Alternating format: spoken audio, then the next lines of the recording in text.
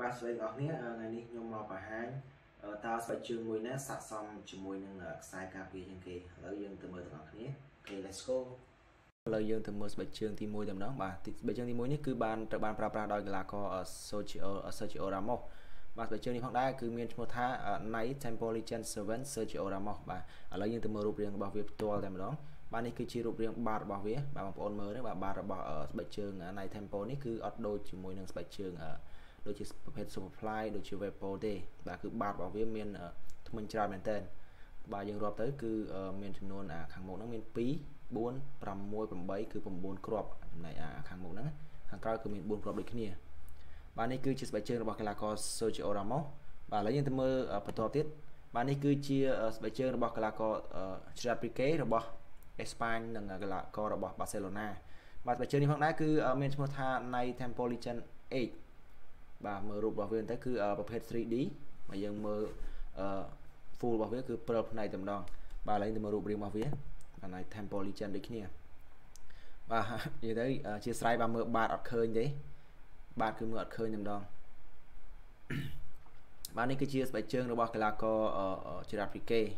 សម្រាប់ខ្សែការពារបាទថ្មិញរបស់វាហ្នឹងគឺដូចគ្នាទេជាមួយនឹងស្បែកជើងរបស់កីឡាករ Sergio Ramos បាទឥឡូវយើងទៅមើលខ្សែការពារមួយទៀត បាទនេះបងប្អូនស្គាល់ហើយគឺ Van Dijk បាទស្បែកជើងរបស់ Van Dijk នេះគឺមានឈ្មោះថា Night Tempo Legend 8ដូចគ្នាបាទឥឡូវទៅមើលរូបរាងពេញរបស់វាតែម្ដងបាទបងប្អូនឃើញទេថ្មិញបាទគឺដូចគ្នាបាទដូចគ្នាមែនតើស្បែកជើងសម្រាប់ខ្សែការពារអញ្ចឹងសរុបមកគឺមានថ្មិញច្រើននេះគឺដើម្បីក្រាញបងប្អូនដើម្បីក្រាញដើម្បីតាមខ្សែប្រយុទ្ធណាបាទគឺមានភាពបត់បែនលះមែនតើ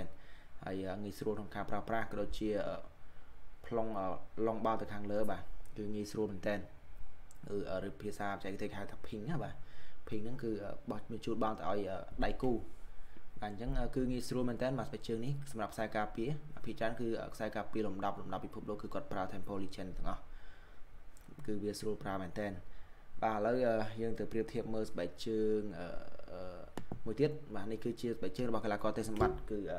ប្រភេទ Night Tempo ដូចគ្នាអញ្ចឹងប្រភេទកីឡាករទេសម្បត្តិហ្នឹងគឺ ជា fan បាទគឺជា fan របស់កីឡាករ Sergio Ramos ហ្នឹងហើយបាទ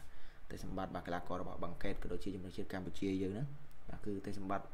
រដូវកាលចុងក្រោយគឺឡើងជើងខ្លាំងមែនតើបាទគឺខ្សែការពាររបស់បង្កេត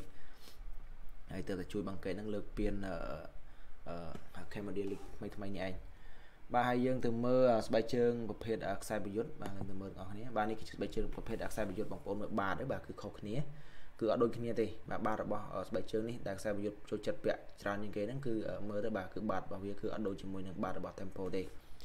បាទបាតរបស់វាគឺមាន6គ្រាប់សម្រាប់ក្រាញសម្រាប់អីហ្នឹងបាទខាងក្រោយហ្នឹងគឺមាន4គ្រាប់ដូចគ្នាបាទអញ្ចឹងសរុបមកគឺខ្ញុំចង់ណែនាំឲ្យបងប្អូនប្រើប្រាស់ Tempo Legend សម្រាប់ខ្សែការពារគឺល្អមែនតើហ្នឹងហើយបាទអរគុណច្រើនហើយកុំភ្លេចជួយ copy link ហើយក៏ដូចជា follow page TikTok របស់គុណបាស៊ីម្នាក់មួយផងបាទអរ គុណច្រើនជម្រាបលា